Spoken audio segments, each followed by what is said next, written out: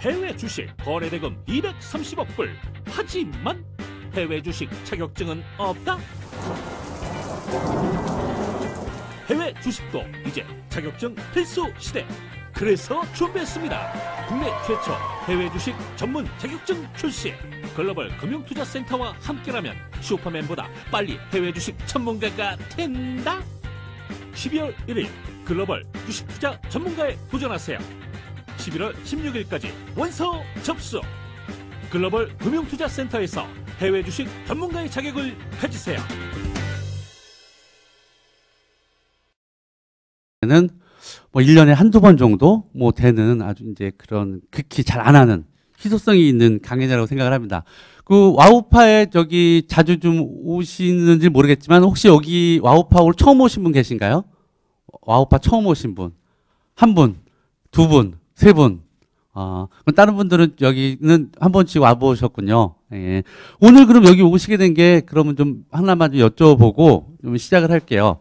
방송 보고 오신 분, 방송. 방송 보고 오신 분, 아, 문자 받고 오신 분도 있나요? 문자 받고 오신 분. 문자 받고 오신 분. 예. 아, 주로 이제 저희 TV를 보고서 좀 오셨던 것 같습니다. 그, 아실지 모르겠지만은 최근에 그 국내 보도 자료를 보게 되면은요, 이제 언론 기사나 이제 이런 걸 보면은 뭐 해외 주식도 직구 시대. 이제 뭐 저희가 뭐 바로 물건 구매하듯이 해외 주식도 국내에서 바로 산다.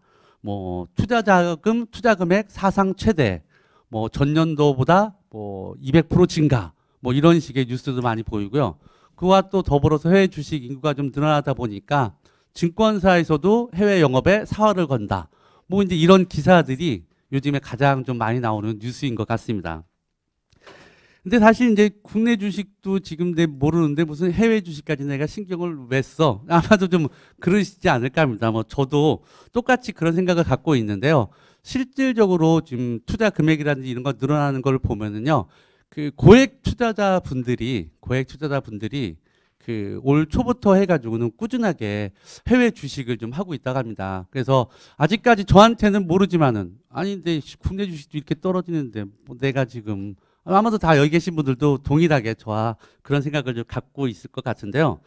사실은 저희가 이제 음 모르겠습니다. 네이버 요즘에 잘 애들이 안 써요. 애들이 이메일을 잘 안 만듭니다. 이제 네이버나 다음이나 이메일 만들려고 저 당시 때는 썼는데 저희 애들 보면은요 이메일 만들 필요가 없죠. 이제 다 카톡이나 이제 이런 거 하고요. 검색도 이제 네이버에서 잘 안 해요. 유튜브에서 합니다. 유튜브에서 구글에서도 안 하고요. 유튜브에서 검색을 합니다. 유튜브를 가지고 있는 구글 우리가 자주 사용하고 있고요. 그리고 이제 애플, 아이폰, 뭐 아이판도 좀 많이 좀 사용하고 있죠. 그리고 또 아마존에서 물건도 구매하고 있고 구글 안드로이드 앱에서 다운로드 앱을 좀 다운로드 받고 있습니다. 그럼에도 불구하고 저희는 한 번도 구글이나 아마존이나 애플이나 이런 주식을 사볼까라는 생각을 한 번 해본 적은 없죠. 근데 오늘 좀 이 자리를 빌어가지고 한 발짝 좀 접근하는 좀 좋은 시간이 좀 됐으면 좋겠다고 생각을 합니다. 그 본강의 좀 들어가기에 앞서가지고요. 오늘은 그 한국경제TV 글로벌 금융센터에서 주최하는 강연입니다. 글로벌 금융센터가 뭔지 간단하게 한번 좀 먼저 설명해 드리고 본 강의 시작하겠습니다. 한국경제TV 글로벌 금융투자센터 이렇게 보시게 되면은요. 어, 여기 보시면은 잘 나와 있죠. 그 글로벌 금융투자센터는 해외 주식 투자에 관심과 투자를 위해서 한국경제TV와 US스탁이 공동으로 설립한 해외 주식 투자 콘텐츠를 소개하고 있습니다 라고 되어 있습니다. 그래서 주로 해외 주식 관련된 내용의 콘텐츠들이 올라와 있다고 보시면 되고요. 크게 두 가지가 있습니다. 첫 번째는 자격증이 있습니다. 자격증. 어, 이거는 이제 주로 이제 증권사 임직원이나 지금 이제 12월 1일 날 처음 저희가 자격증인데요. 어, 이, 여기라고 관련, 여기 계신 분들은 아, 그 관련이 좀 있을 수도 있습니다. 12월 1일 날 12월 1일 오전 11시에 시험을 보는데요. 저희가 지난주부터 이제 그 시험 신청을 받고 있습니다. 어, 그래서 저희가 쭉, 쭉 보니까요.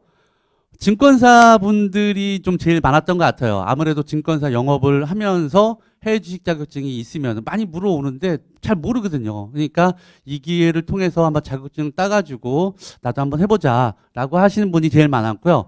그리고 그 일반 개인 투자자분들도 많았습니다. 그러니까 제일 많은 게 한 60%가 증권사분이었고요. 한 30%는 일반 투자자, 그리고 10%는 학생.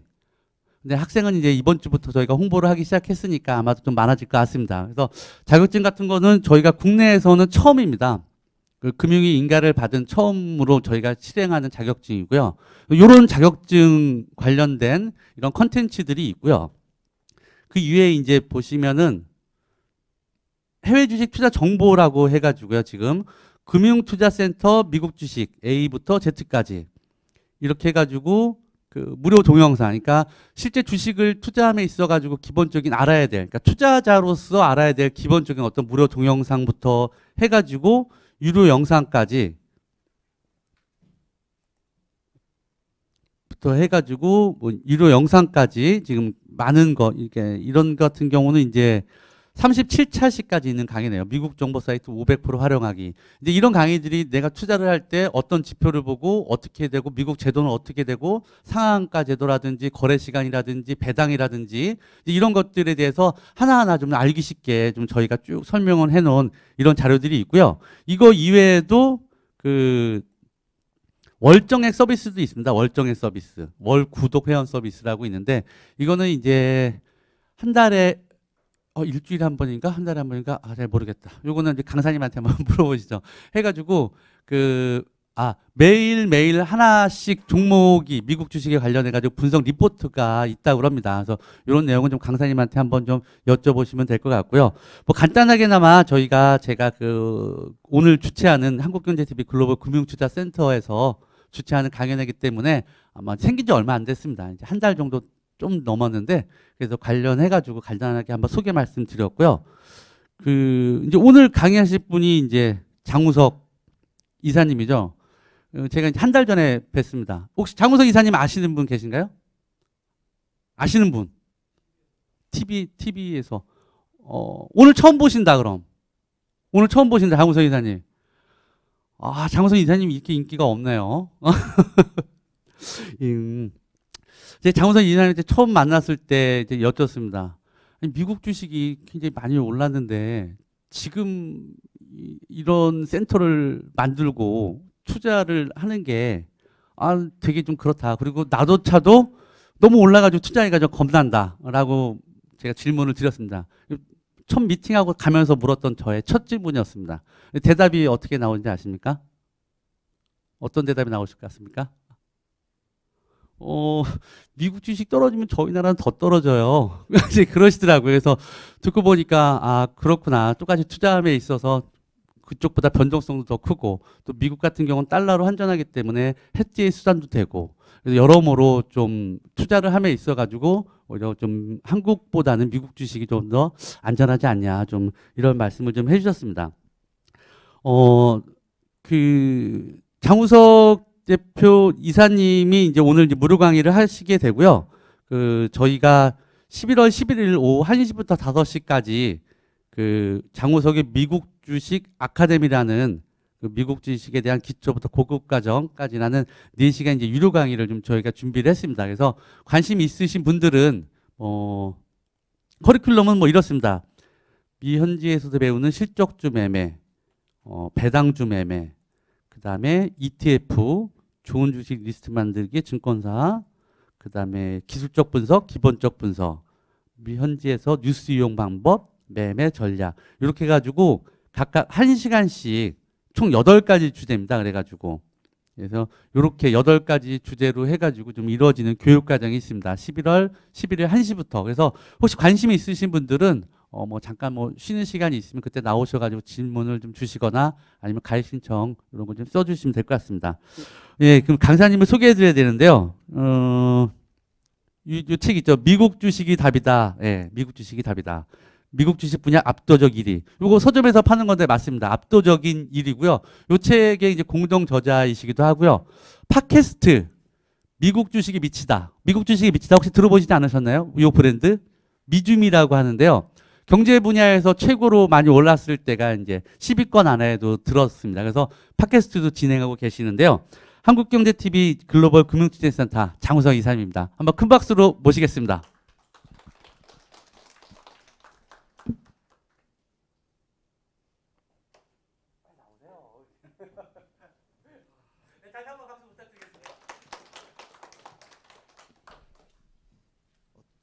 어떻게 넘기는지만 알려주고 가십시오. 예, 뭐 이거 띄어 전체 화면 띄어야 되는 거 아니에요? 제 강의부터 그만 제 강의부터. 네.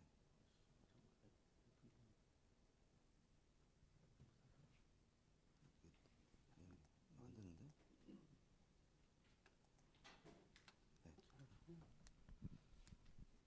안 먹는데? 이걸요? 여기서 서서? 네. 알겠습니다. 안 먹네. 아니 원래 화면에 쏴도 되는데. 네, 이렇게. 예, 방금 소개받은 장우석입니다. 다시 한번 인사드리겠습니다.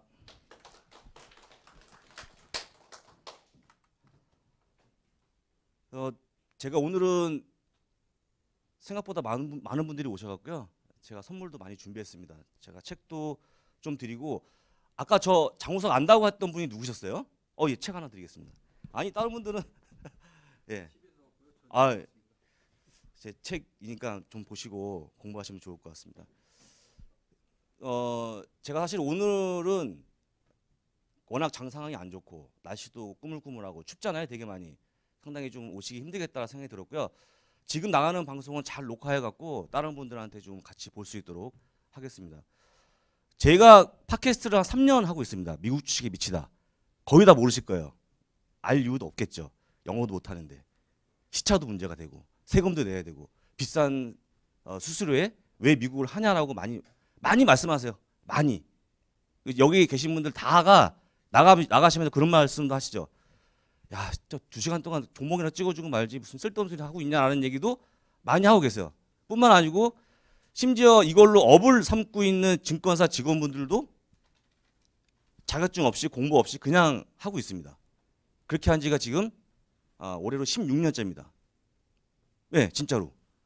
제가 2002년 4월에 KBS 9시 뉴스 나오면서 이제부터 미국 주식을 안방에서 매매할 수 있습니다라고 방송했던 게 2002년이에요. 그런데 지금 나가서 물어보면 어떤 분들 그럽니다. 아니 아마존을 우리가 거래할 수 있단 말이냐. 예, 페이스북을 거래할 수 있단 말이냐는 얘기를 하세요. 진짜입니다. 거짓말 하나도 안 못하고. 그리고 어 뭐라 그럴까요? 이걸 우리가 정말 해야 될 필요가 있을까?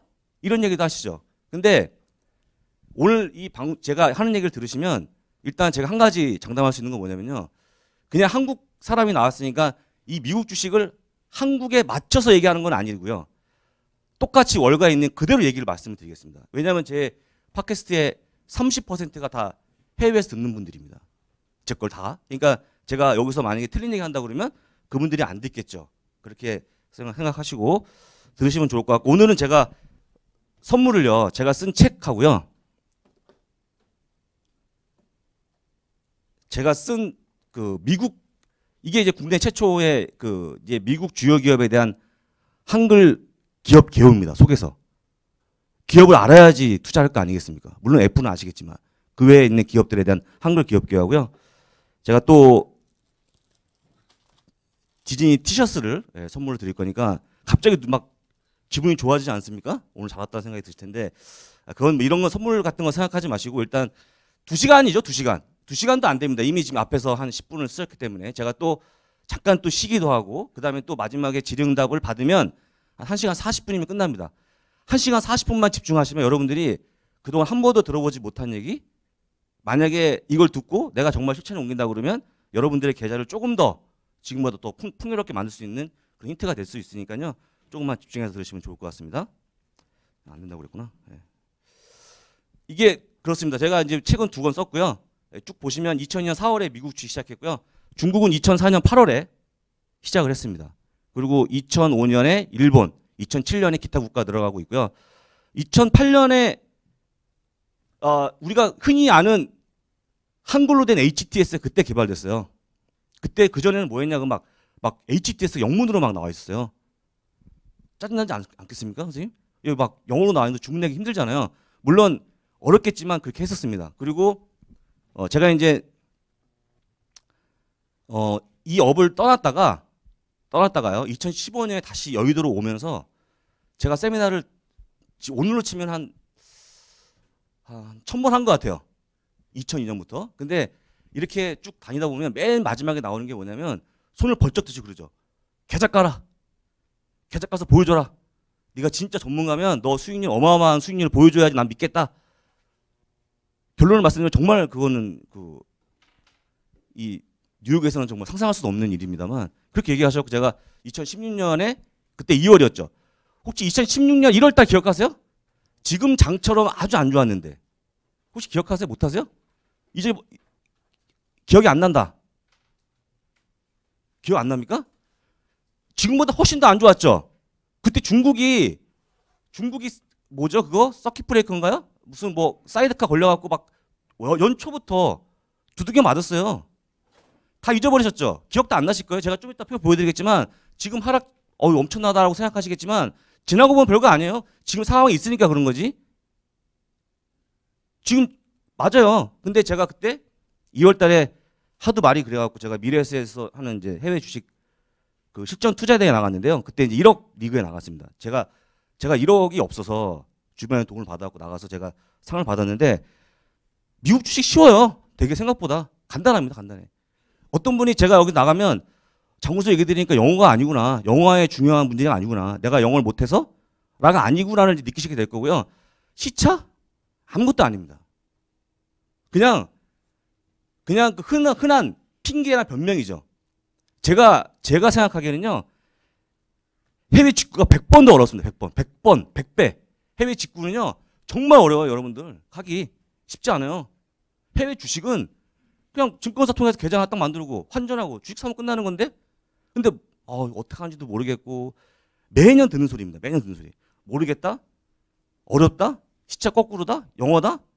너무 많이 올랐다? 야, 미국장은 15년째 듣는 얘기가 항상 와, 미국장 너무 많이 올랐어. 어, 이거 좀 빠지면 사면 좋을 것 같은데? 그런 얘기 많이 했다는 것 좀 말씀을 드리고요. 저는 이런 생각 갖고 좀 미국 주식을 처음에 시작했습니다. 이거 결론이 뭐냐면요. 결론이 뭐냐면 뱅가드 아시죠? 세계적인 투자 운영회사 어, 하시는 분입니다. 존버글께서 말씀하신 거죠. 이건 결론은 뭐냐면 그냥 우리가 한 덩어리인데 지구촌 한 덩어리인데 한국에도 주도주가 있습니다. 주도주. 뭐가 끌고 가죠? 뭐 IT가 끌고 간다, 반도체가 끌고 간다 그러면 전체 한 덩어리로 본다 그러면 그거를 끌고 가는 게 미국이 아니냐라고 얘기하는 겁니다. 100% 맞는 얘기죠. 지금 각 분야의 모든 선도 업체는 아, 대한민국이 아니죠. 미국입니다. 미국. 이게 한 10년 전에 이렇게 얘기했으면요. 저 뒤에 어떤 분이 어, 이 새끼 저거 애국심이 하나도 없는. 예? 어, 한때 우리가 그 외제차 보면 막 이거 이거 이 새끼 뭐지? 뭐 이렇게 했잖아요. 지금 안 하잖아요. 솔직히 지금 외제차 끈다고 누가 뭐라 합니까?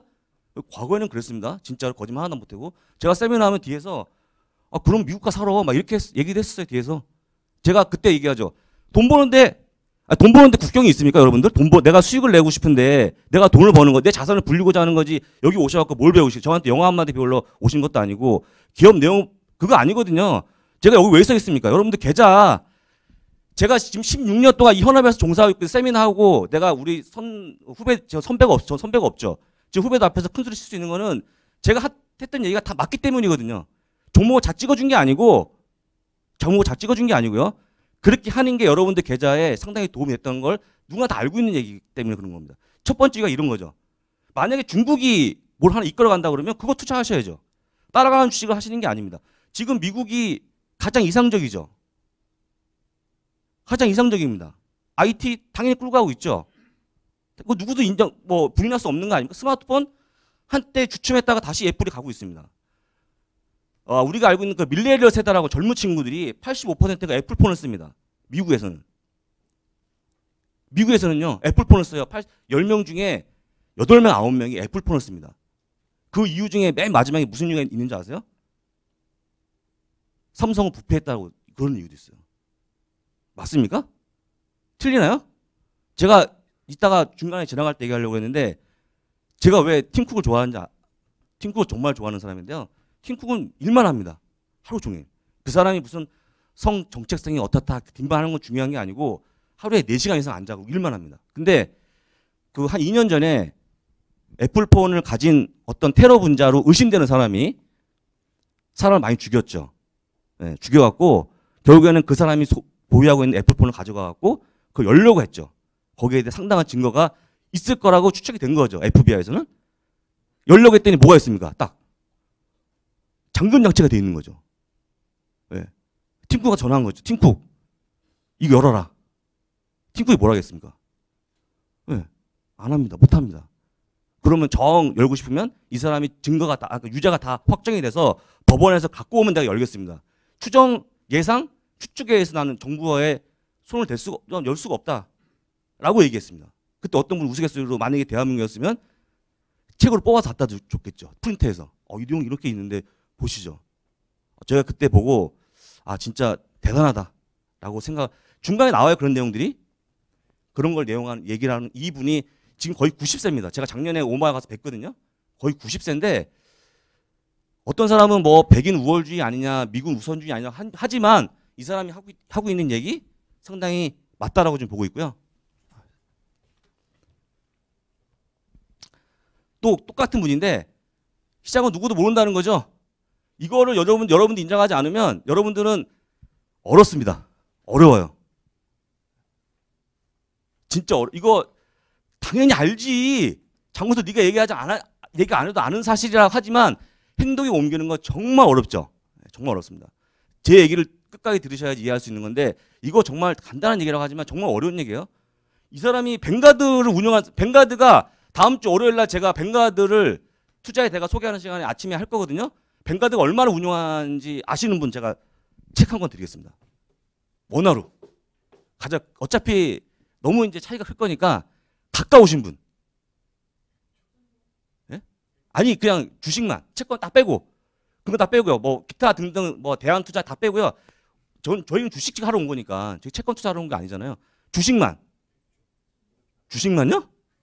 아니, 저, 아니 괜찮아요. 얘기하시면 제가 맞추는 분한테 드릴게요. 제, 얼- 제가 이렇게 어 하면 어, 이거 아닌가 보다 하지 마시고 제 어떤 이 reaction에 속으시면 안 돼요. 그냥 아, 내가 고집대로 원 원으로 하세요. 원 달러로 저는 개념을 듣게 되니까 원 원화로 더 없습니까? 더 없으면 제가 근사치 예? 예? 아니 원으로 원화로 예, 원화로 저기 선생님은 저한테 커피를 한 사주십시오. 제가 분명히 원화라고 했는데 지금 이 원이요? 원? 제가 그 여기 아 이분은 저 또 선물이 아 이분 안 되겠다. 한번 받으셨으니까 다른 거. 예? 300조 아니라니까. 좀 더 쓰셔야 됩니다. 원? 좀 더 쓰셔야 돼요. 한국 시총보다 큽니다. 한국 시총. 예. 대한민국 시총을 3천조 나오세요. 2,500조 원을 지금 운영하고 있습니다. 주식으로만. 예. 주식은 껌이죠? 껌값이잖아요. 채권에 비하면. 아, 껌값이에요. 2,500조 원이면. 껌값 운영하고 있죠. 근데 대한민국 지금 시총이 얼마예요? 그거 모르세요? 1,600조, 1,500조 왔다 갔다 하고 있죠. 그걸 알아야지만 여러분들 흔히 내가 왜 어, 시총을 내가 왜 알아야 돼 하는데 흔히 시장을 아주 안 좋게 보는 사람들이 흔히 써먹는 말이 GDP 대비 시총이 어떻다는 얘기를 많이 하거든요. 지금 중국이 예 GDP 대비 시총 2.5배이기 때문에 너무 버블이 아니냐 미국이 1.5배 그런 거거든요. 그걸 얘기하기 때문에 여러분들 그냥 아시면 되게 도움이 많이 됩니다. 그걸 운영하시는 분이 한 얘기예요. 아씨 이렇게 돈 많고 야 주식을 몇십 년 동안 죽을 때까지 한 사람인데 무슨 시장을 이걸 못 찍고 이걸 이런 엉뚱한 소리를 하냐고 하지만 이게 정답이에요. 이분한테 욕하세요? 만약에 제가 자, 장을 못 찍으면 제 얘기가 아니고요. 어렵게 투자하지 말라고 그러잖아요. 딱 여러분들이 패닉에 빠졌을 때, 패닉에 빠졌을 때, 저 여러분들 흔히 듣는 얘기가 뭡니까? 아, 고객님, 일단 떨어지는 칼날 피하시죠. 아니면 두 번째, 떨어지는 칼날을 어 그런 전략보다는 아니면 지금 일단 팔고 더 낮은 가격에 사서 주식을 한번 해보자. 대한민국엔 있는지 모르지만 전 세계 그런 전략은 있지도 않은 전략들이죠. 파는 순간 끝나죠 주식은. 이분이 뭐라고 합니까? 이렇게 어려우면 예, 돈 패닉 셀해서 예, 일단 패닉 하지 마. 예, 흔히 얘기하는 거죠. 그 다음에 단기적 투자하지 마. 마지막에 하는 얘기가 압권이죠. 뭐라고 해요? 이 양반이? 이 양반이 얼마나 오래 했는지 아시잖아요. 뭐라고 합니까? 야, 주식 보지 말고 나가 놀아 이러잖아요. 주식 하지 말고 나가 놀으라고. 여러분들이 가장 적극적으로 격렬하게 할 수 있는 거는 가만히 있는 거예요. 가만히 있는 거. 뭘 하지 말라는 거예요. 자기도 그렇게 하고 있으니까. 내가 산 증인인데 제가 주총 때 갔, 작년에 갔었거든요. 이 양반이 그러죠. 내가 45년을 그렇게 운영했는데 너희들은 도대체 뭐냐? 내가 가만히 있어갖고 지금까지 돈 번 사람인데 그러면 해치펀드 욕하죠. 해치펀드 너희 뭐했냐? 해치펀드 수익률하고 뭐 비교도 안 됩니다. 해치펀드 수익률이 왜 낮으냐? 이 사람 딱 얘기하죠. 너희는 영업을 했잖아. 고객을 위해 수수료 수익을 벌기 위한 어떤 영업이지 고객분들의 수익을 추구하는 게 아니에요. 증권사 직원분들 여러분들의 수수료 수익은 난 뒷전이고 여러분들 수수료 수익이 아니고 여- 여러분들 수익률이 우선이라고 생각하시면 계세요 혹시? 나는 우리 고객분들이 1억이든 2억이든 버는 게 난 더 좋아. 나는 수수료 수익 영원히 상관없어라고 하는 게 있나요? 그렇게 합니까? 여기서 그렇게 하죠 미국에서는 그렇게 얘기해요. 이게 작년에 제가 찍어온 사진이에요. 5만 명이 운집해서 이렇게 그런 얘기 다 듣습니다. 다 듣죠. 어떤 분들은 어 무슨 이렇게 아기 손잡고 뭐 가족끼리 와서 이렇게 합니다. 제가 죄송한 대단히 죄송한 얘기지만 이건 제가 이제 막 하다 보면 아, 듣기 싫은 얘기도 들려요. 제가 막 얘기하면 근데 제가 첫 단추를 좀 많이 얘기합니다. 첫 단추를 첫 단추를 잘못 끼면 굉장히 꼬이죠. 저는 그렇게 생각이 들어요. 주식 주식에 있어서는 주식에 있어서는 첫 단추를 잘못 낀다고 생각하고 있는데 이 그림이 전 대표적인 그림이라고. 지금요 애들이 어린 애들이 유튜브를 이걸 보지 않으면 당황을 합니다. 뭘 할지 몰라서. 그래 안 그래요? 그러놓고 애가 이제 게임을 하기 시작하면 막 뭐라 해요 부모님이. 내가 딱 우리 아들한테 이 새끼 미쳤나 게임만 하고. 애기 땐 좋았죠. 날 귀찮게 하지 않고 그냥 하는 거예요. 어 이거 뭐 열어주면 막 지들끼리 앉아서 그냥 한 시간 두 시간 계속 보내. 나는 놀면 돼 밥만 먹고. 근데 이제 와서는 아빠 엔비디아 그래픽 깔아줘. 액티비전 블리자드 사야 되니까 돈 줘. 이러죠. 애들 혼내죠. 누가 이렇게 만들었어요? 부모가 이렇게 만들었잖아요. 한 2주 전에 약간 약 30분 정도 유튜브가 한번 끊어졌어요. 혹시 아시는 분 계시지는 아마 모를 것 같은데 대다수 우리는 우리는 적어도 잘안 보니까 1위부터 10위까지 top 10 뉴스가 다 그거예요. 언제 다시 나올 거냐 유튜브 언제 틀어줄 거냐 유튜브를 언제 너희들 망해라 이 새끼들 왜안 이다 그런 얘기로 다 도배가 됩니다 뉴스. 이미 유튜브에 완전히 다 빠져 있어요 모든 대한민국 국민 어린 애들은 적어도. 근데 뭘할게 아니고 배워서 그래 어릴 때부터. 그러면 이제 우리는 물론 이건 이 그림에 보면 여러분들이 뭐 그런 내용도 되겠지만 또 투자에 대한 아이디어가 나오겠죠. 어 이게 유튜브가 누구 거냐? 유튜브가 누구 겁니까 알파벳 구글이잖아요 구글 어 씨 구글 거네 예. 대한민국 지금 네이버가 왜 안 돼요? 네이버는 애시당초 안 되는 뉴스로 간, 거, 간 거죠. 구글 열 구글을 열고 네이버 열면 뭐가 차이겠어요? 구글은 내가 뭘 찾으러 왔지 하는 거에 집중하게 돼 있죠. 네. 네이버는 내가 뭘 찾으러 들어왔다가 어 무슨 무슨 갑자기 무슨 뭐 네 명을 누가 죽였네 뭐 막 그런 뉴스 나와요. 나는 원래 내가 뭘 찾으러 왔는데 뉴스 보고 그 다음 뉴스 또 봐야죠.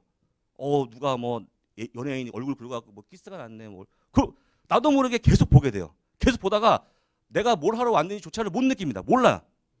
그럴 때 오는 후유증이 굉장히 크죠.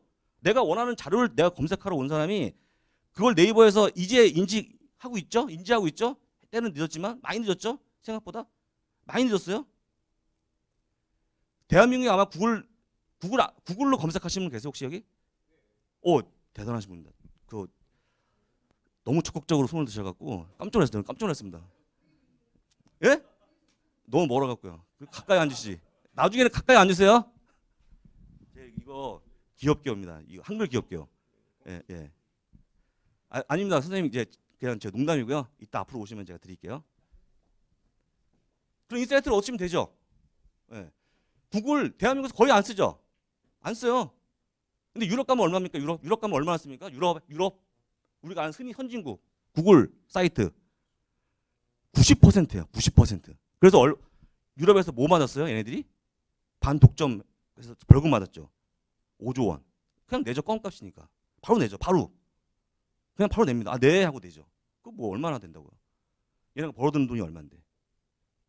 근데 결국 그- 그렇게 가는 게 맞는 거예요, 원래. 원래 그게 맞다니까요. 원래 맞아요. 그러면 스마트폰은요. 누가 돈, 돈을 많이 벌까요, 지금? 삼성이 열심히 만들어서 언제까지 만들까요? 계속 다 있는데 스마트폰 주머니마다 다 있는데 다 있잖아요, 두머니마다. 막말로 솔직한 얘기로 뭐 중국 가면은 중국 가면 여러분들 이렇게 껍데기 씌운 폰하고 껍데기 안 씌운 폰하고 차이가 뭔지 아세요? 중국 가면 중국이 대시장이잖아요. 중국에서 많이 팔려야 돈 벌죠? 중국 가면 이렇게 껍데기가 있는 거하고 비가 가르지 않는 차이. 껍데기를 깎이지 않은 거는 애플폰이죠. 여기 사과 보이죠? 다 끼죠. 막 무슨 뭐 샤오미든 뭐다 끼죠. 저도 꼈습니다만. 예? 그 끼죠. 그 자체의 어떤 브랜드에 대한 아, 우리가 흔히 얘기하는 프리미엄은 누구도 얘기할 수 없죠. 근데 삼성은 앞으로 뭘 벌어야 됩니까? 기계파라 벌어 벌어야 됩니까? 애플은 뭐가 있어요? iOS라는 애플 앱스토어라는 게 있죠. 그 돈을 벌면 돼요. 미래에 대한 성장 동력이 있죠. 근데 안드로이드죠. 선생님 쓰는 핸드폰에 핸드폰에 있는 모든 애플 아죠 앱 서비스가 안드로 얘네 거예요. 구글 거예요. 구글 거. 왜 구글 거예요. 구글 거. 제가 앞에 선생님도 제가 좀 이따가 보여드리면 놀래 계시겠지만 선생님마저도 이미 주변에 지금 제가 한 1분만 얘기하시면 30개 종목을 얘기해요. 미국 기업을. 내가 내용을 아- 몰라도 내 그냥 일상 주변에서 내 아들이 아, 내 손자가 나이키 신고 다니고 언더아머를 좋아하고 이미 스마트폰을 쓰고 있고 예, 이미 페이스북에서 좋아요 막 누르고 있고 스타벅스 우리 손자는 왜 이렇게 스타벅스 가는 거라고 얘기하고 있죠? 하고 얘기하 몰라서 못하는 게 아니에요. 제가 여러분들한테 여러분들의 눈을 흐리는 걸 말씀드릴게요. 지금 오른쪽에 보시는 거, 왼쪽에 보시는 게 뭐냐면 미현지에 있는 HTS입니다. 여기서 보고 싶은 거는 보고 싶은 게 아니죠. 보여지는 거는 딱 선 라인 차트. 그리고요. 얼마에 거래되는지, 얼마에 거래되는지 이게 답니다. 심지어 오른쪽 거는 피델리티 거예요. 피델리티 거. 피델리티. 여기 뭐가 있어야 될까요? 더 현란한 차트가 들어가고 더 현란한 우리가 뭐 정말 매매 정말 없어서는 안 될 중요한 외, 외국인 기관에 대한 수급 현황이 들어가야 되고 여러 가지 긴급 뉴스가 막 올라와 줘야 되고 테마주로 딱딱 업종을 분류해 주고 남북 경협주라든지 무슨 뭐뭐 해서 다 분류해 주고 여러분한테 아무리 보, 여줘봤자 여러분들한테 적어도 미국 역사상 120 역사상 여러분들 투자자분한테 득이 됐다 안 됐다?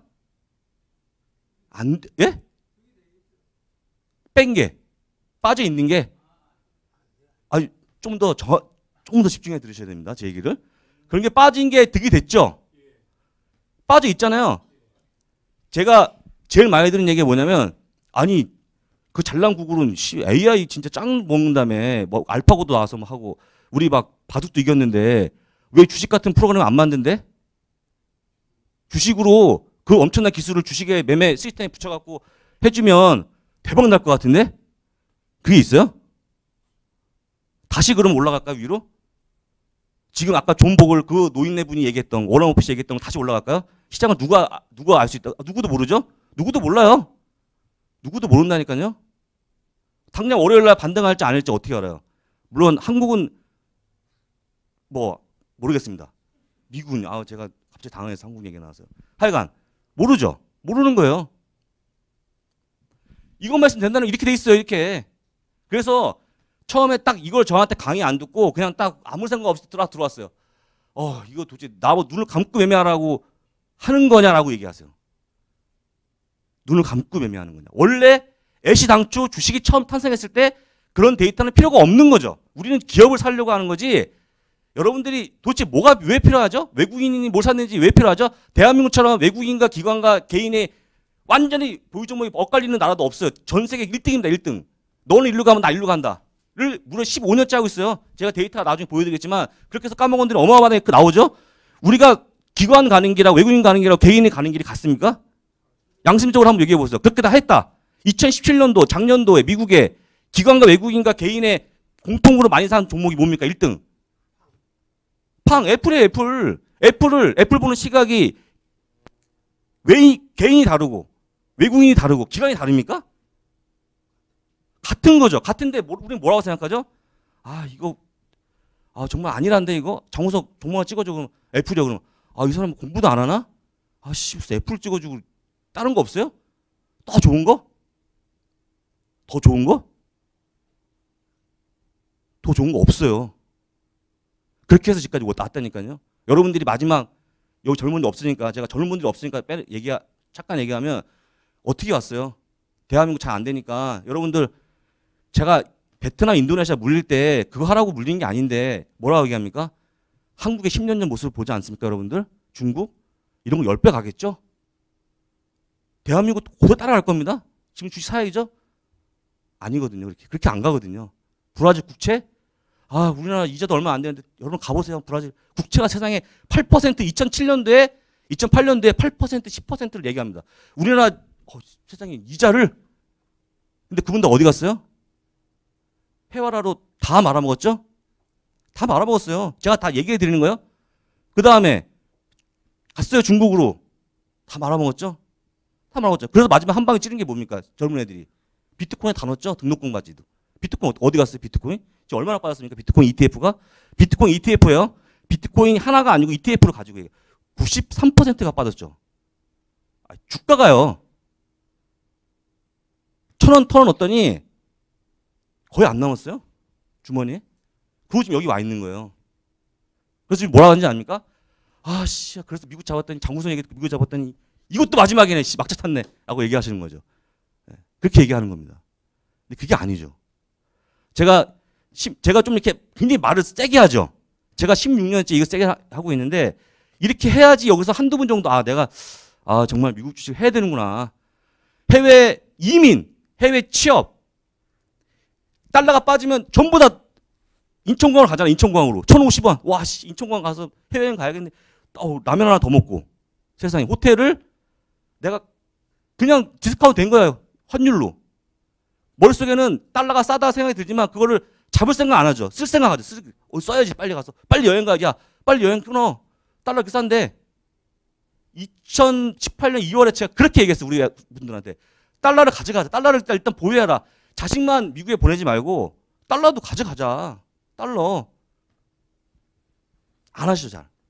어, 달러 갑자기 어, 언제 환전해야 돼요? 뭐 지금 뭐 얼마 하면 1,050원, 어디는 1,060원인데 별로 그 의미 없어요. 10원, 20원 뭔 차이 있어. 달러를 가져가야지 여러분들 방어가 된다니까요. 나중에 차트 보여, 보여드리겠지만 달러하고 코스피하고 같은 방향으로 갑니까? 안 가거든요. 제가 왜 이렇게 계속 얘기하냐면 미국 주식 역사상 이 파란색이 불마켓, 우리가 흔히 하는 황소 시장이었어요. 이 빨간색이 반대의 베어 마켓이죠. 역사적으로 이건 제가 그냥 어, 내가 무슨 전기를 받아서 어, 내가 주식에 전기가 느껴지는 에너지가 느껴집니다 하면서 그런 얘기 하시는 분도 있어요. 내가 느껴지는 전기에 의하면 그거 굉장히 강 그게 아니고 통계적으로 공매도는 다 죽었어요 지금 미국에서 아작났어요 그냥 끝났어요. 보세요 어, 누구 말이 맞는 건지.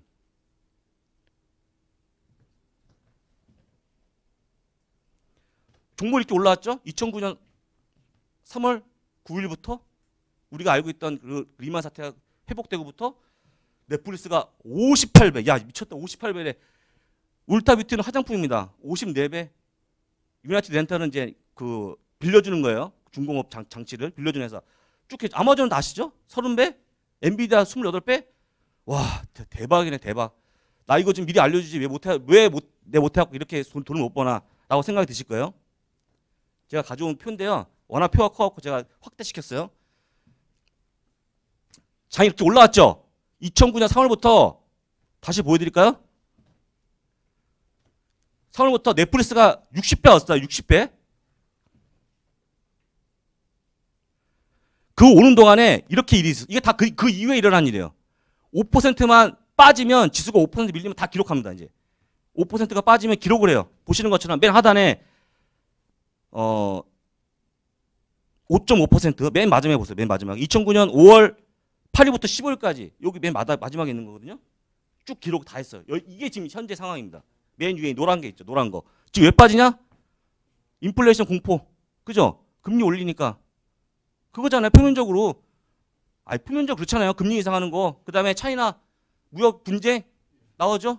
예, 그거 나오잖아요. 그리고 얼마 전에 또 주택 지표가 안, 좋- 안 좋- 좋게, 굉장히 안 좋게 나왔죠? 이런 얘기 때문에 주가 주식 빠지, 이렇게 빠지는 동안에 뭐가 있었다고요? 종목이? 아까, 아까 제가 그때 얘기했던 게 바로 요 때입니다. 요 때. 요 때인데요. 나오잖아요. 중국 문제. 이게 2016년 초반에 있었던 문제입니다. 굉장히 큰 문제였죠. 장이 굉장히 빠졌어요. 다 우린 잊어버렸지만. 이렇게 많은 문제가 있어 있고 온 거예요 지금까지. 지금 여러분들 당장 그 주식시장에 아침에 보니까 이제 정말 조정장으로 가는 거냐, 침체로 가는 거냐 얘기하지만 그거 아니죠. 여기에 뭐가 하나만 추가되면 끝나는 겁니다. 뭐가 추가 안 되죠 여기에? 여기 추가되지 않은 게 있어요. 네, 그래서 이 자리에 서 있는 거고요. 그래서 여러분들을 내가 이해를 시키려고 설득하려고 애를 쓰는 겁니다. 지금까지 그렇게 했던 게 제 직업이었고 여기 뭐가 들어가 있지 않죠? 환율 들어가 있습니다. 뭐가 들어가 있지 않냐면 여기에 기업 실적이 들어가 있지 않습니다. 기업 실적이 망가진다는 얘기 나오면 얼른 도망가야 됩니다. 다. 다 도망가거나 아니면 정말 버핏의 얘기처럼 딱 HTS 지우고 그냥 눈을 가려야죠. 아니면 다 팔든지. 그 얘기가 없었죠. 지금까지도. 지금까지도 그 얘기가 없어요. 워런 버핏이 집에 가 사무실 가면은 단말기가 없, PC가 없어요. TV도 없고 내가 갖고 있는 주식에 대한 확신이 있기 때문에 들어오면 뭐 하겠어요? 들을 필요가 없다는 거예요, 그냥. 다, 에너- 다 노이즈라는 거예요.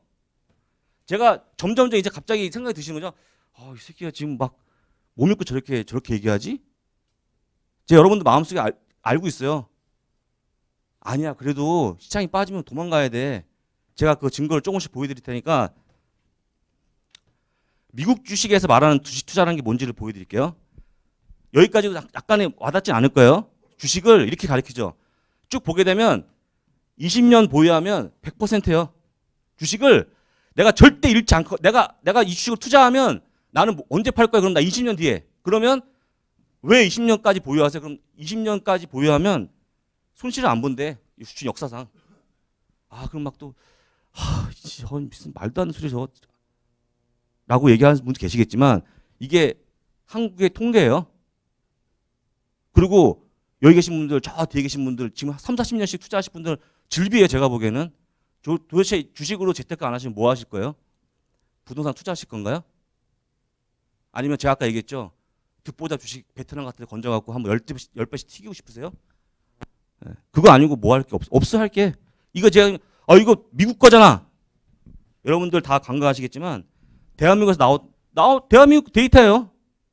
제가 한 게 아니에요 대한민국도 마찬가지죠 저 보세요. 오른쪽에 있는 표. 하루 보유하면 얼마야? 손실 확률이 거의 절반이죠. 한 달 절반 가깝죠. 그 다음에 쭉 가다 보면 20년이면 뭐예요? 제로잖아요. 제로잖아요, 제로. 제가 얘기한 게 아니에요.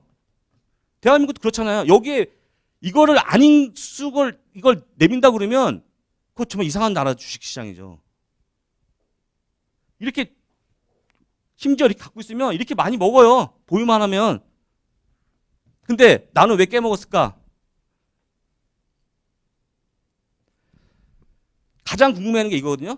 이제 주식을 네 말만 듣고 샀어. 산다고 쳐봐. 그러면 2007년에 사는 거 2012, 2007년 12월에 왜냐면 2007년 10월이죠. 왜냐면 이게 금융위기 오기 직전 고점이에요. 고점. 금융위기 오기 직전 고점. 닷컴버블 있기 직전 고점에 주식 사는 거예요. 여러분들 정말 다 우리처럼 우린 정말 운이 없죠. 개인들은 사면 빠지니까 그것처럼 똑같이 가장 안 좋았을 때 시기에 고점에서 사는 겁니다. 주식을 미친 거죠 거의. 손실이 어마어마하죠. 손실이 어마어마해요. 그래서 원금이 지금 18만 4천 달러 됐어요. 그런데 이거를 정말 제 논리대로 쳐서 장기적으로 보였다 치죠. 40년만 보유합니다. 40년 보유하면 18만 4천 달러가 100만 달러가 넘어가요. 이것도 약간 뭔가 좀 나한테 와닿지 않는 얘기다? 제가 글자 적어놨어요. 2018년 4월 29일까지 제가 그 금융위기 올 때부터 2018년 4월 달까지 만약에 보유하고 있으면 연평균 수익률이 5% 예, 만약에 배당을 포함하면 6%까지 좋아집니다. 그거 다 까먹는 거다다다 다, 다 회복하고도 이렇게 좋아져요. 제가 빨리빨리 넘어가 볼게요. 궁금증한 거. 애플을 갖고 얘기해. 좀더 여러분들한테 이해를 더 쉽게 해드릴게요. 애플이 2월 달에 미국이 가장 중요하게 여기는 이동평균 딱 하나만 봐요. 하나. 뭐냐? 200일 이동평균선. 차트 분석이 아니고 200일 이동평균 딱 두 번 빠집니다. 두 번. 애플 주식이 연초에 똑같은 얘기였죠. 연초에 똑같은 어떤 그 금리에 대한 문제 때문에 에- 세상의 천하의 애플이 200일 이동평균선 하회하는 날이 딱 나와요. 그래서 전화하죠. 증권사들한테. 어? 이거 어떻게 할 거야? 김 과장. 애플 샀더니 이- 벌써 200일 dead cross 아니야 이거 했죠. 그래서 뭐라 합니까? 일단 현금하시죠. 네, 현금하시고 아니면 어, 좀 더 낮은 가격에 대사시죠. 근데 두 가지 케이스가 뭐냐면 저점 찍고 한 번도 안 쉬고 올라가요. 마찬가지고. 그렇게 안 가요. 생각처럼. 자, 여러분 주식이 잘, 빠, 잘 보세요. 자, 빠집니다. 아, 빠지, 저쪽 잘 빠졌죠? 요즘은 저점이죠? 자, 사세요. 올라가. 이런 거 없어요. 그냥 제가 표현을 치면 내 자는 동안에 하락이 오고 내 자는 동안에 상승이 옵니다. 여러분들이 그걸 판단할 수가 없어요. 아까 얘기했던 거 똑같습니다. 여러분들 시장을 이길 수가 없어요. 이길 수가 없어요. 그럼 여기서 뭐라고 얘기합니까? 정확히 얘기해 볼까요? 아이 고객님 전화 끊으시고 가만히 계세요. 뭐 아니 주말에 노- 놀러 좀 가세요. 전화하지 마시고 뭐 장만 봐요 맨날 시장만 봐요. H, MTS 지우세요 MTS. 나는 어차피 뭐 제가 고객도 아니고. 아니 저희 팬분들 다 그렇게 인- 이- 저기 정리돼 있어요. 저렇게 얘기해도 돼요. 뭐, 어 그럴까요? 아 지우세요 그런 거 왜 쓸데없는 거 뭐냐고. 그럼 그 논리가 뭡니까? 이걸 보여주죠. 제가 진짜 오래된 데이터야 이거. 여러분들 못 봐요 여기 아니면. 자 2007년 요때죠? 금융위기 때? 요때요. 이 주황색이 주가고요. 이 현재 이게 파란색이 EPS 우리가 흔히 얘기하는 실적입니다. 자 실적이 계절별로 등락은 있어요. 근데 빠졌나요? 실적이 안 좋아하나요? 실적이 빠졌다. 여러분들이 주식을 보유하는 이유가 그 주식에 대한 실적이 좋아서였지. 여러분들 주식을 보유했는데 정치적인 매크로적인 어떤 부분들, 남북 문제, 트럼프에 대한 문제, 트럼프 중간 선거 그것 때문에 주식 보유하셨어요? 그런 일이 없기를 바라면서 주식을 보유하시냐는 거죠. 잘 생각해 보세요. 여러분들한테 일도 도움 안 되는 얘기예요. 그거는 지나간 얘기고 그걸로 주식을 했다면 아까 얘기했죠. 아까 보여드, 보여드렸던 거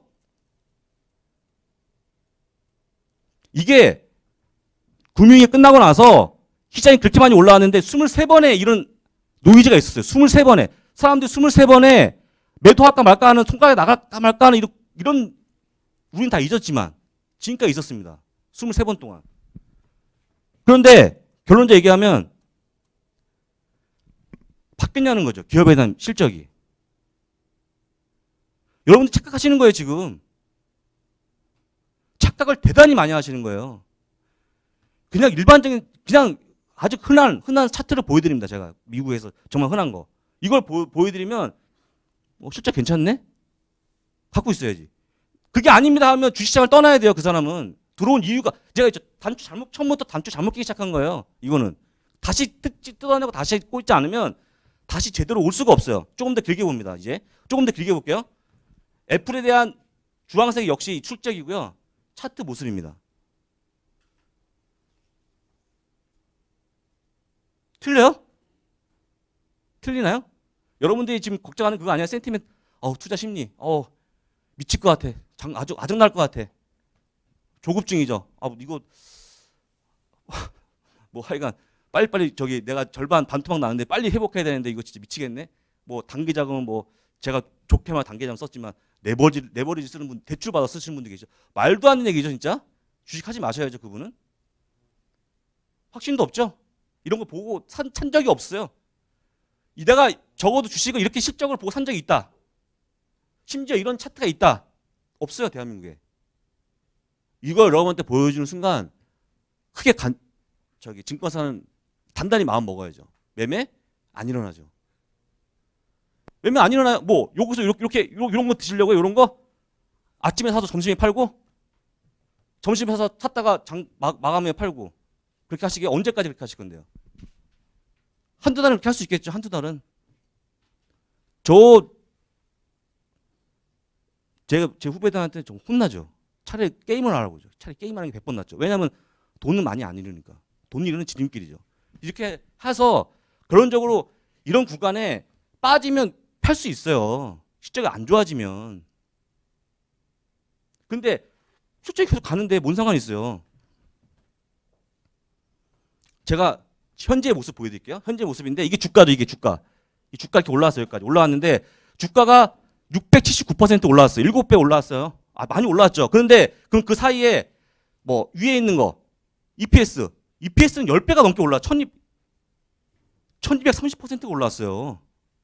여기 보세요. 매출, 현금 흐름 다 보세요. 다, 다, 이게 다 그 실적을 보여주는 그래프예요. 뭐 하나 꺾이는 게 있는지. 팔 이유가 뭐가 있어요? 팔 이유가 없지. 내년, 그럼 자, 이건 니, 지금 당장 얘기지? 미래의 모습도 보여줘. 이게 미래의 모습이에요. 이것도 그냥 흔한 차트예요, 미국에서. 이게 실적에 대한 차트거든요? 지금까지 저기 보라색이 지금까지 차트예요. 실적에 대한 모습, 예상. 그 다음에 이게 이 파- 하늘색이 예상이에요, 예상. 2019년 쭉 가서 꺾여요? 그 다음에 이제 얘기하죠. 왜 안 꺾이냐 그러면 어떤 분이 무슨 뭐, 야, 애플 앱스토어로 갖고 돈 벌고 있잖아. 돈 엄청 벌죠, 애플 앱스토어로.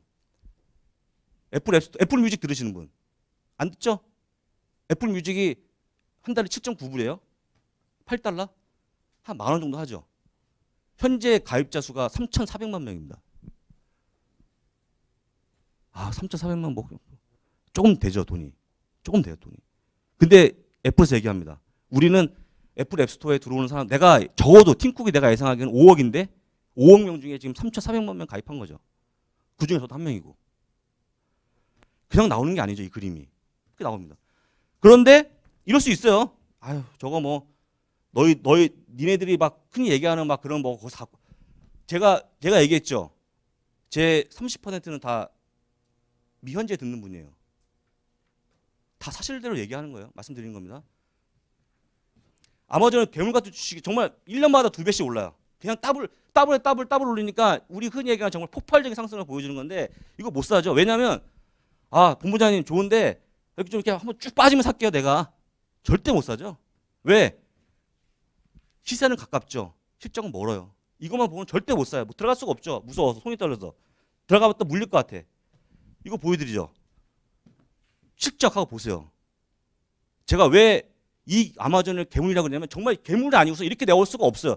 그러니까 미국에서 단 한 명의 보유 의견 한 명만 보유 전체가 다 strong buy 의견이 물론 실적이 이번에 좀 안 나왔습니다만 이렇게 가는 거예요. 그러면 여기서 언제 언제 지나고 보니까 언제가 여러분들 제가 딱 언제가 포인트였어요. 언제가 우리 흔히 얘기하는 그 맥점입니까? 맥점. 이런 거 아닙니까? 이런 거? 이런 거? 뭐 이렇게 급락할 때 사야죠. 주워야죠. 왜? 실적이 실적이 좋아, 좋아지고 있는데. 아니면 아니라고 얘기하세요. 제가 이거 한국 제가 보- 오늘은 보여드리지 않습니다. 한국 기업을 제가 EPS하고 실적하고 다 연관시켜서 이거 엑셀을 그릴까요? 못 그릴까요? 그릴까요? 못 그릴까요? 그릴 수 있어요. 그 그린 게 여러분들 네이버에 나오는 투자 전략란에 미래에셋에서 지금 어닝스 리비전이라는 기사를 올려보내고 있어요. 그거 안 보시죠? 많이 안 보실 거예요. 그거 보시면 여러분들 대한민국 살게 별로 없어요. 이렇게 했다가 이거 상관없이 이렇게 파동을 내가 막 진짜 막 내가 온갖 차트에 차티스트 같은 막 한다고 하면 할 수 있겠죠. 제 얘기는 그거예요. 언제까지 그렇게 매매하실 거냐는. 언제까지? 내년도? 내후년에도? 숨 막히지 않으세요? 이게 매출의 모습 이런 게 없어 이게 이런 게 없다니까요. 이게 아마존의 매출인데 매출이 진짜 제가 이거 아 진짜 왜 1등 기업이 됐는지 내가 인정한다. 이게 밑에 있는 게 월마트거든요. 월마트는 진작에 아작났죠. 월마트를 집에 보낼 뻔했죠. 그 집에 안 갔죠. 간신히 살아갖고. 어마어마해요. 아니 지금 애플하고 애플하고 아마존 시총 합치면 한국보다 크죠. 두 개가 8천 개 거래할 수 있어요. 미국 시장 종목이 8천 개, 8천 개, 단 두 개가 미국 시장 단 두 개 종목이 한국보다 커요. 우리는 그 1% 시장에서 아동가동 하고 있는 거고.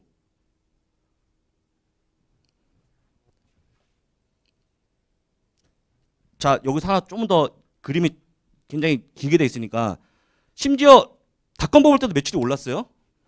쑥 올라오죠. 그럼 닷컴 버블 때 팔아야 될까요? 아마존도 역시 예상치를 보면 엄청나죠. 예상치가 엄청나요. 진짜 이거는 그래서 그 일부 IB는 일부 IB는 내년에 작년 이맘때 작년 이맘때는 얼마였을까 아마존이 지금 이제 1,700, 800 왔다 갔다 하고 있는데 작년 이맘때 천대 천불이 안 갔죠. 저 정확히 1년 만에 두 배가 된 거예요 또 아마존이. 그래서 내년에도 또 두 배 될 거라고 얘기합니다. 흔히. 근데 하, 막 우리는 막 인정하지 않죠. 아이 새끼 뭐 미국은 다 인정합니다. 정말 실제 이렇게 좋아진다면 갈 수 있겠구나. 근데 이번 실제 이렇게 나왔죠? 잘 보세요. 여러분 실적이 정말 안 좋은 건지 보세요. 매출은요 조금 부족해요. 조금 매출이 566억 달러인데 지금 570억 달러 한 5천억 달러가 좀 적게 나왔어요. 정말 적게. 조금 적게 나왔죠? 근데 전년 동기 대비 얼마예요? 매출이 얼마 늘었어요? 이렇게 공룡 같은 기업이 전년 동기 대비 30% 가까운 매출이 올랐어요. 이건 약가죠. EPS 보세요. EPS. EPS 예상치가 3달러였는데 지금 5달러를 보고 전년도 52센트였어요. 52센트. EPS가 10배 올랐어요. 10배가. 10배가 커졌어요. 근데 왜 빠졌어요? 야, 예상치 떨어 야, 예상치 이거 이거 못 맞췄잖아, 이거. 예. 미국은요. 정말 되게 짜요. 점수 안 줘요. 다 맞춰야 돼요. 매출, EPS 예상치 다 맞추고 전년 동기 대비 다 맞추고 심지어 가이던스까지 다음 4분기까지 실적이 좋아야지만 삼박자가 맞아야 주가가 올라가요. 안 좋았잖아요. 그 다음에 비용을 많이 썼어요. 너 비용을 이렇게 많이 쓰냐? 물론 비용을 쓸수 있는 쓰- 쓴 거, 쓰려고 쓴 거죠. 이런 것들은 뭐 클라우드 데이터 관, 뭐 관련 음성 기반 컴퓨팅 장치 이런 것들은 써야 되죠. 근데 비용이 22% 증가했다. 그 다음에 4분기에 별로 안것 같다고 생각한 얘기하는 것들이 주가를 빠뜨린 거죠. 얼마나 빠, 빠지겠어요? 한 9% 빠졌죠. 제가 다른 걸 보여드릴게요. 다른 거. 아까 보시는 차트 말고 이게 정말 엄청나게 구, 내가 구하기 힘든 거 아니냐 해서 제가 비자를 다시 갖고 왔어요. 비자는 다른 사이트인데 이게 잭스라는 사이트에서 제공하는 겁니다. 자, 검은 게 역시 주가의 모습이고요. 그 다음에 맨 저기 밑에 있는 게 2014년도 예상치, 실적 예상치죠. 근데 보라색 2015년. 그 다음에 요게 2016년, 17년, 여기 18년. 그 이미 제시한 예상치대로 주가 가죠. 자, 여기서 영어가 나왔다. 아, 약간 나왔네, revenue가. revenue, revenue 나왔다는 거 말고, EPS 나, earning per share라는 그런 영어 말고, 뭐 있었다. 엄청나게 막, 제가 무슨 뭐, 그, financial statement라서 쭉 나온 뭐 재무제표 갖고 와서 뭐 것들 설명합니다. 재무제표 보십시오. 매출이 뭐, 몇억, 몇백억 달러에서 이렇게 늘었습니다. 제가 보여드렸나요? 그림도 못 보세요? 색깔, 그림 색깔? 끝나죠?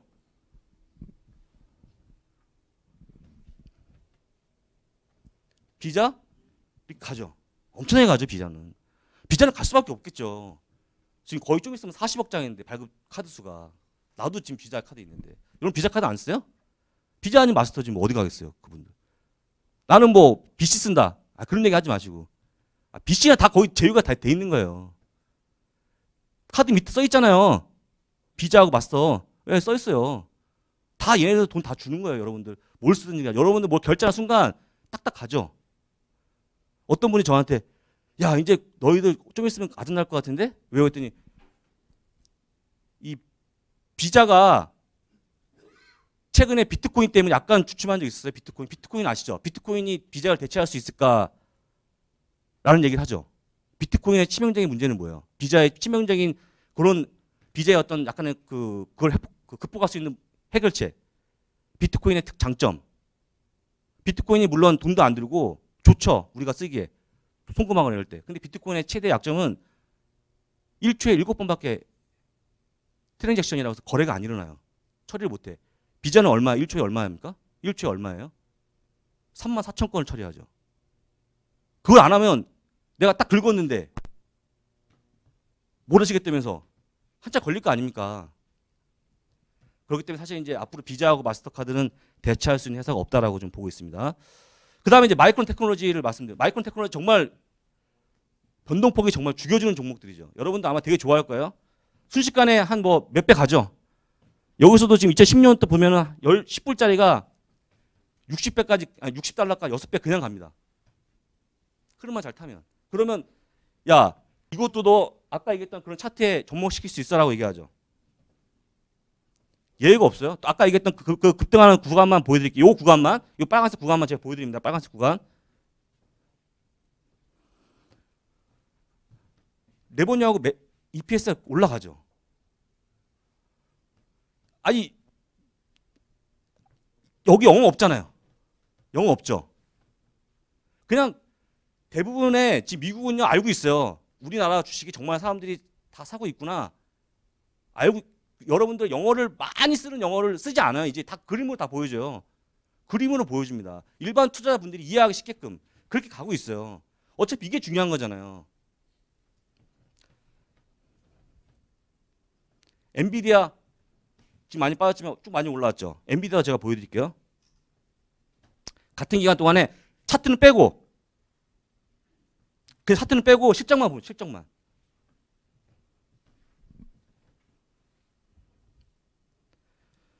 아, EPS는요. EPS는 329%. 예, 3배가 올랐죠. 요, 요 기간 동안. 주가 많이 올라올 수밖에 없어요. 그 다음에 페이스북과 넷플릭스까지도 이렇게 보여드립니다. 같이 제가 다 못하니까 설명드리는 거예요. 페이스북 마찬가지, 넷플릭스 마찬가지 다 실적이 좋아져 그렇게 올라오는 모습 보여. 맨 위에 있는 게 레버뉴 매출이고요. 그 밑에 있는 게 우리가 흔히 하는 영업이, 그 밑에 있는 게 EPS입니다. 지인은요. 지가 주식 엄청 빠졌거든요. 여기까지 빠졌는데 이거 다 저점에 사고 싶은 생각 되게 많으실 거예요. 꼭 이렇게 돼 있죠 지금 현재 EPS 실적이. 심지어 증권회사에서 그렇게 얘기해요. 이거 보면서 차트 선 그려가면서 어떻게 하면 저점을 찾을까 노력하겠죠. 저점이 언제 나올까요? 의미 있는 적점, 저점. 이 구간이 다 지나야겠죠. 현재 여기가 여기 있어요. 여기 현재. 이게 만약에 반등하면 얼마나 반등하겠어요? 이걸 비꼬는 말이 그거잖아요. dead cat bounce. 죽은 고양이 뛰어오른다. 그거 잡으려고 하죠. 사람들은. 잡아 소용없죠. 끊임없는 하락 속으로 빠질 수밖에 없겠죠. 조금 더 길게 볼게요. 길게. 이, 이 파란색이 EPS 실적이고요. 이 검은색이 실- 주가입니다. 전문가적인 입장에서 얘기한다 그러면 전문가적인 입장에서 얘기한다 그러면 언제쯤 좋아져요? 언제 좋아지죠? 그러니까 실적이 이제 이게 이게 지금 예상치거든요. 녹색이. 올 올해는 지나가야겠구나. 적어도 그죠? 라고 얘기하는 게 증권사 분들 전문가들이 흔히 얘기할 수 있는 조언이죠. 그렇게 얘기하는 게 맞죠. 이걸 아- 이걸 보신 분이라면 맞죠? 이 구간은 지나가야겠죠? 이 구간 지나야 돼요. 이거 가지고 지위를요. 지위가 저점에서 매수할 종목으로 수두럽게 나옵니다. 막 엄청 세상에 제너럴 일렉트릭이 얼마나 큰 회사였는데요. 과거에 1대 시총 1위였어요. 좀 이따 보여드릴게요. 시총 1위였던 기업인데 지금 아장났잖아요. 얼마나 사고 싶겠어? 손이 근질거리겠습니까? 바닥인지 언제 알고 싶었고. 바닥은 당장 안 들어와요. 실적이 안, 안 좋기 때문에. 자, 만약에 우리가 대한민국에 우리가 다 대한민국 국민이라고 생각해 보세요. 여러분들이 다 대한민국 모- 저랑 같이 딱 이 차트를 같이 봤어요. 그런데 여기서 내가 나는 질 사고 싶다. 아 나는 너희들 다 이쪽 나는 나, 나대로 갈 거야. 난 고집이 있는 사람이거든.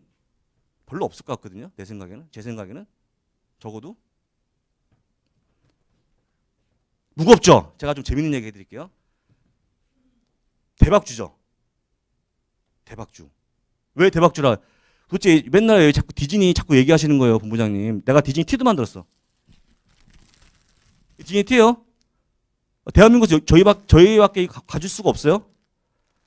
여기 나오는 게 좀 이따 보여드리겠죠. 이 그림이 잘려 있지만 디즈니 주권을 제가 보여드릴 건데 제가 이 티도 제가 기념으로 아, 문제를 맞추신 분한테 제가 선물을 드리겠습니다. 여기서 제가 설명하지 않은 거 하나만 내가 흔히 이렇게 점- 저기 증권사 뭐 세미나나 아니면 이렇게 전문가 서비스 저기 세미나 다니는 다녔는데 제가 설명하면서 오늘 못 본 거 얘기하지 않은 거, 언급하지 않은 거. 수요. 아니 어떤 투자에 대한 어떤 여러 가지 그런 그 예. 이거 그냥 기념입니다 기념. 물론 입어도 상관없지만 예. 일반적으로 우리가 투자할 때 듣는 얘기가 흔한데 없, 없는 게 있어요? 누굽니까? 예, 선생님하고 저 뒤에 아까 그죠? 그 두 분은 제가 책을 드릴 거 이따 와서 받아가지고요. 차트 설명 안 하죠 수급도 없죠 누가 뭘 샀으니까. 그리고 뭐 테마주로 분류하지도 않죠. 디즈니도 실적대로 가는 거예요. 천하의 디즈니도. 디즈니가요, 이렇게 한때 4배 올라왔어요. 그러다가 지금 약간 주춤하고 있죠. 굉장히 박스가 갇혀져 있어요. 디즈니, 아, 모르시겠지만 디즈니 최근에 이슈가 뭐예요? 디즈니가 물론 우리 영화 되게 좋아하지만 21세기 폭스타를 인수해갖고 지금 넷플릭스처럼 되려고 하는 거예요. 디즈니가 넷플릭스에 디즈니 콘텐츠가 들어가는데 다 계약 끊고 자체적으로 이제 나, 나도 한번 넷플릭스처럼 사업해볼게 지금 이게 이슈거든요. 그런 게 이슈, 이슈입니다. 네. 주가 올라갈랑 말랑 하고 있어요. 장이 빠지는 과정에서 주가가 올라가는 모습 보여주고 있거든요.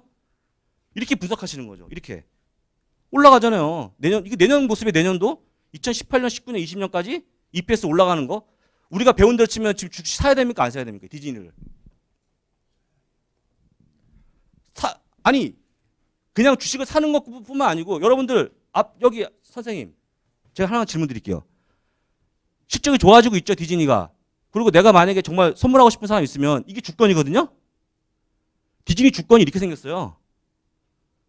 여러분들이 정말 오늘 좋은 그림 보시는 거죠 이렇게 이거 주식을 선물해요 선물하고 싶지 않으시겠어요? 선생님? 선물하고 싶으시죠? 디즈니 주식이 올라갈, 아, 이건 애들의 꿈과 희망인데 난 디즈니가 대, 대체할 수 있는 게 있을 것 같다. 저는 없을 것 같거든요? 미키마우스 대체할 수 있을 것 같아요? 별로 없을 것 같거든요? 선물을 줘요, 이렇게. 제가 티를 맞춘 거예요. 아니, 내가 좋아하는 기업, 내가 잘 나가는 기업, 내가 실적이 좋은 기업 투자하는 여러분들, 그게 방법이에요. 돈 벌 수 있는 방법. 제가 시간이 부족하니까 빨리빨리 설명을 드리고 끝낼게요. 구글 적으세요. 구글. 예, 구글 실물 주권 이게 디즈니 저기 있는 게 페라리죠. 페라리 페이스북. 페라리 차 없으시죠? 아, 씨, 차 사, 사야 되는데 그죠? 한 방 딱 쳐갖고 사야 되는데 아, 우린 대신 주식 사면 되잖아요. 우리 주식 사면 주주가 더 위에 있는 거 아닙니까? 그니까 뭐 차 갖고 있는 사람보다 아 우린 주주인데 맞습니다. 예. 알겠습니다. 이렇게 제가 일반 제- 이제 우리, 우리 현재 우리 일반인들이 입고 다녀요. 애기들하고 같이 입잖아요. 이게 제가 제가 찍은 게 아닙니다. 이렇게 해서 하는 게 얼마나 행복한 일이에요. 내가 주식 갖고 아이온 디즈니예요. 그래서 여러분들 주식에 대한 관점을 좀 달리 하시고 하라고 좀 말씀. 제가 이제 목이 아파갖고 좀 쉬었다가 말씀드릴 건데 이게 여러분들 좀 약간의 처음 보는 그림도 많고 처음 보는 내용도 많을 거예요. 그런데 잠깐 쉬는 시간이라도 조금 한번 다시 한번 잘 정리해 보시고 제가 조금 더 어, 좋은 얘기는 다음 2부에 진행하겠습니다. 잠깐 쉬었다가 하겠습니다.